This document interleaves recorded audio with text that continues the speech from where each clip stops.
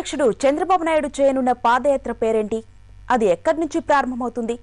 గత కొన్ని రోజులుగా టీడీపీ శ్రేణుల్లో హాట్ టాపిక్గా మారిన ఈ ప్రశ్నలకు ఇవాళ జవాబు రానుంది. పార్టీ రాష్ట్ర విస్తృత స్థాయి సమావేశంలో యాత్ర పేరును అధికారికంగా ప్రకటించే అవకాశం ఉంది.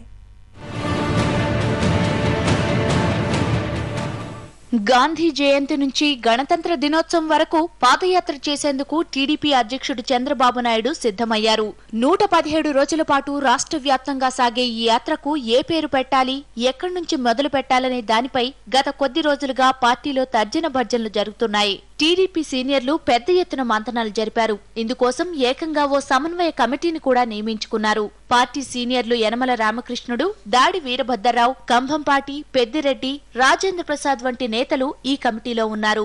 వీళ్ళు పాదయాత్ర కోసం అనేక పేర్లను పరిశీలించారు. ఖచ్చితమైన సమాచారం మేరకు పరచూరి బ్రదర్స్ ప్రతిపాదించిన వస్తున్నా మీకోసం అనే పేరు దాదాపు ఖరారైనట్లు తెలుస్తోంది. రెండు వేల తొమ్మిది ఎన్నికలకు ముందు చంద్రబాబు మీకోసం యాత్రను చేపట్టారు. దానికి లింక్ ఉన్నట్టుగా ఉండాలంటే ఈ పేరైతేనే బాగుంటుందని అభిప్రాయం వ్యక్తమైంది.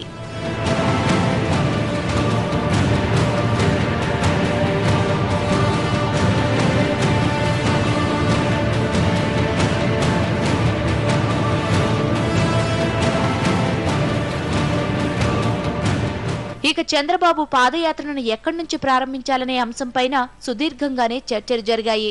ఆదిలాబాద్ జిల్లా ఉట్నూరు తిరుపతి శ్రీకాకుళం జిల్లా అరసవెల్లి ఇలా కొన్ని ప్రతిపాదనలు వచ్చినా వాస్తు ప్రకారం మహబూబ్ నగర్ జిల్లా కొడంగల్ నుంచి కానీ అనంతపురం జిల్లా హిందూపురం నుంచి గాని పాదయాత్రను ప్రారంభిస్తే బాగుంటుందనే సూచనలు వచ్చాయి.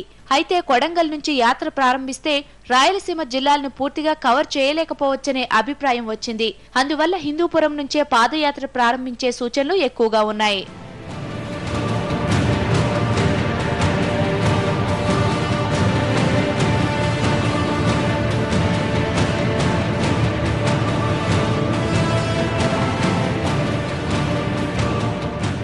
ఇవాళ పార్టీ రాష్ట్ర విస్తృత స్థాయి సమావేశం జరగనుంది.